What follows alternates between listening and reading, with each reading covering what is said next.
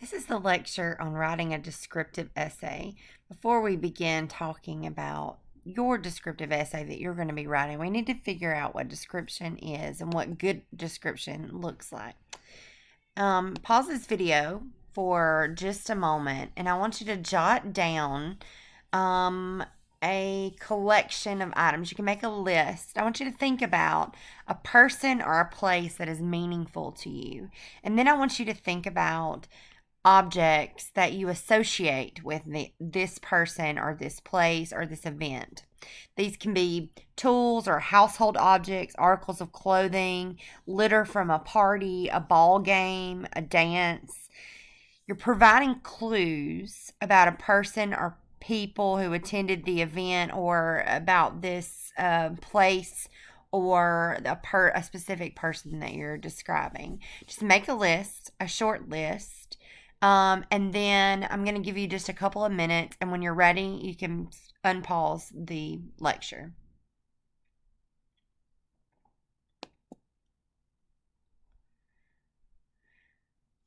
Before we talk about your list, I want to give you an example of my list. So, I wrote down a collection of objects that remind me of my grandmother, Joe. She's a very important person to me. Now, you don't know Joe, um, you don't have any idea um, who my grandmother is or what the experience that I have with her um, is.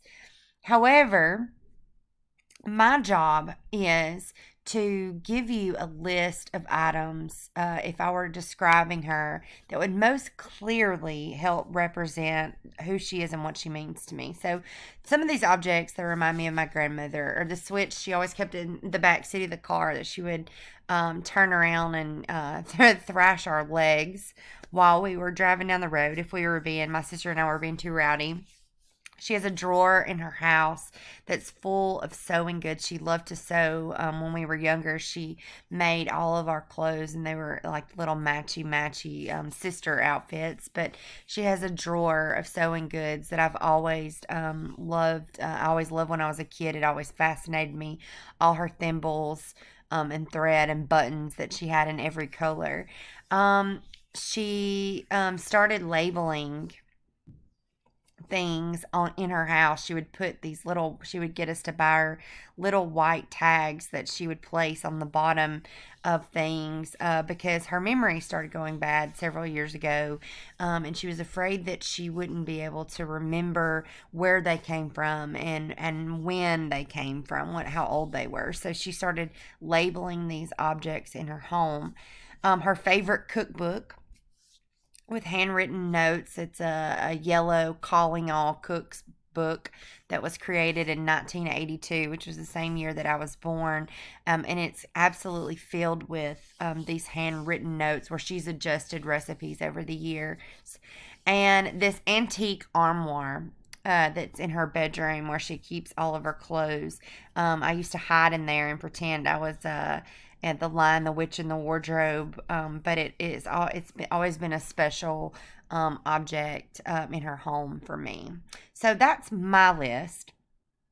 And hopefully, now that you kind of understand what I'm asking for, you can start retooling your list, your journal, um, for things that mean. I could have chosen a million other things um, that remind me of my grandmother, but to me, these six are, I'm sorry, these five objects um, are are very critical uh, in my memory that are connected to my grandmother Joe. So let's go on from there. We're going to come back. So we're going to just stick a pin in our journal for just a moment and we're going to come back to it um, a little bit later. So kind of set that to the side. This lecture is found in um, under the descriptive essay uh, module. It's the first link there on the uh, description um, lecture. So if you wanted to follow along while we were kind of talking about it.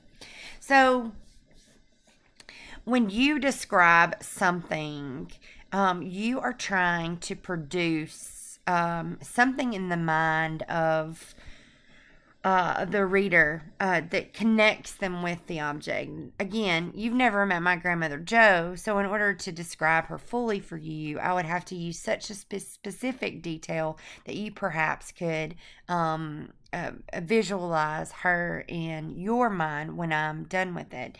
Description without meaning is just a list.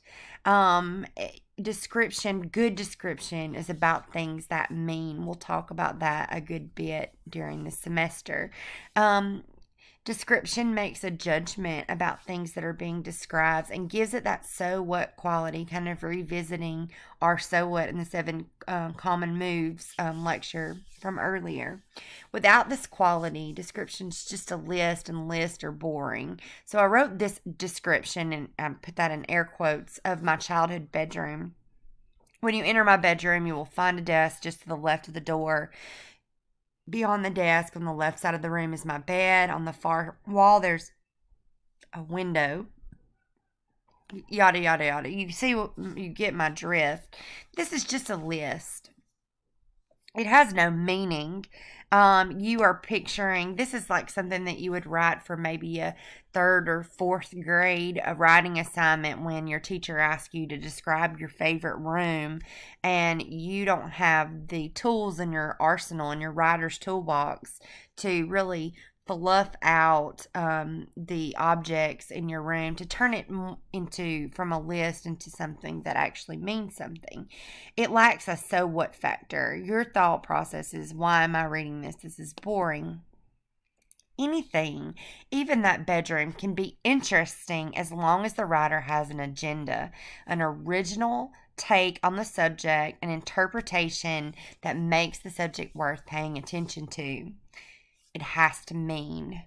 A successful description of the bedroom could include shape and size and furnishings, um, but you're looking for more of unique details. Um, the history, um, the memories that are associated with that place. That gives a unique so what factor. It conveys meaning to people who've never seen them before. So, retooling that description you see this example. I've always liked the way the afternoon light slants into my bedroom from the bay window in the hallway.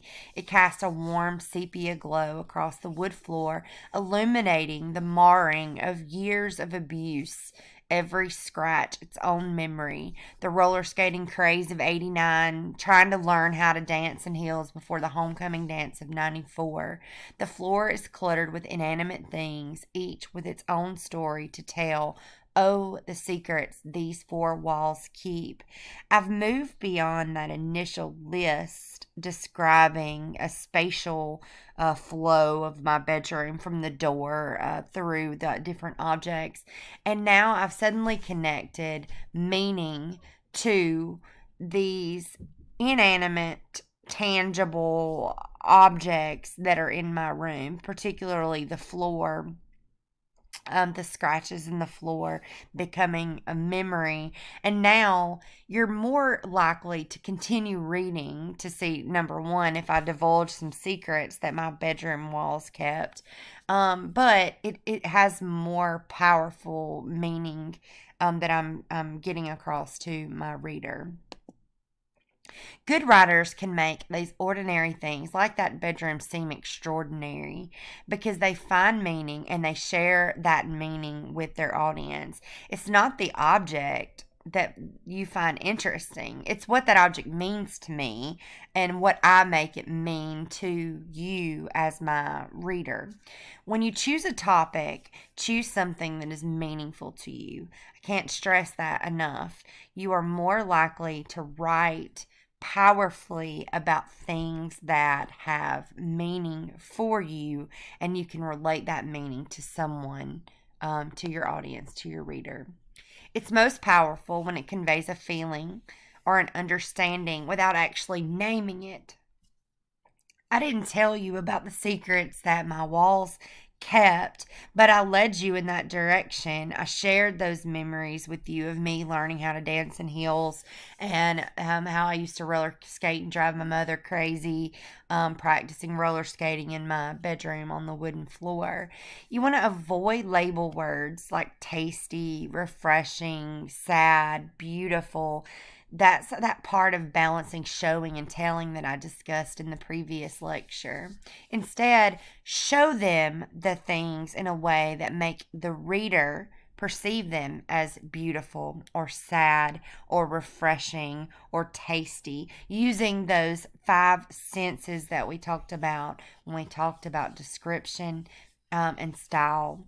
Don't give your readers your interpretation directly that's that whole show tell balance again. Give them things in the way that re- causes them to react the way that you want them to react.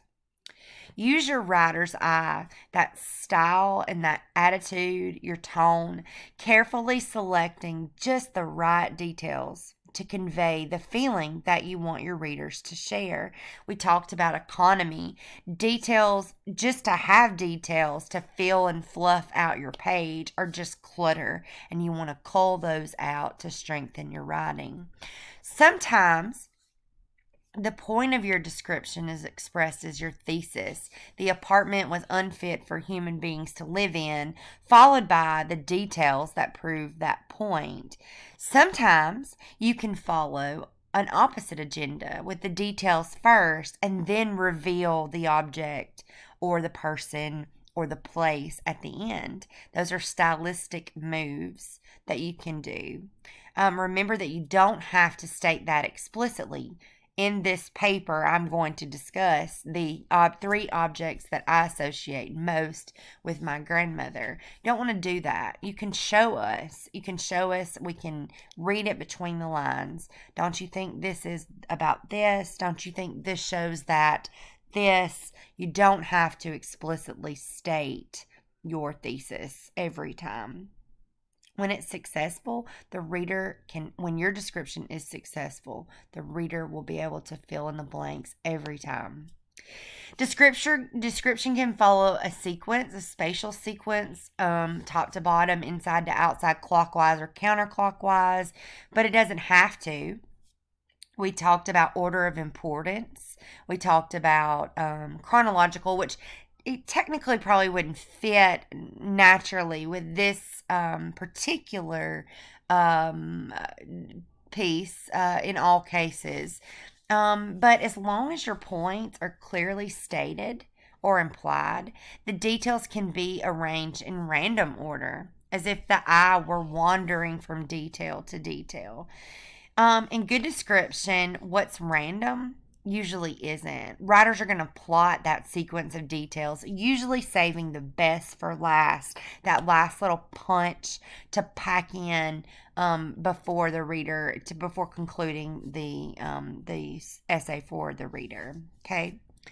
Um, I want you to um, take out the um, handout or pull up the handout on Normandy Beachhead.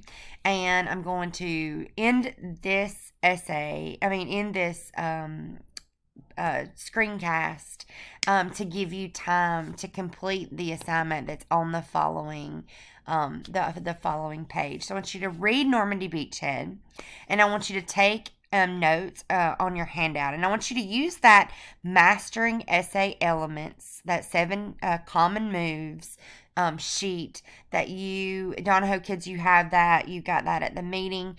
Um, Jacksonville kids, you can take a look at it on the um, in the module mastering essay elements. And I want you to try to figure out the moves that Pyle uses in his essay.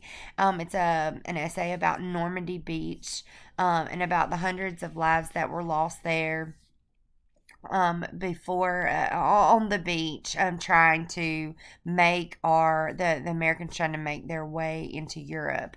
Um, I want you to take a look. I want you to try to figure out the moves. Just go down your checklist and see if you can recognize these moves because doing being able to do that when you see them will help strengthen your own writing. When you have your li- your list, advance to the next slide to check and see how many moves you were correctly able to identify and then check out my screencast on Normandy Beachhead that I'm going to be posting tomorrow. Have a good night.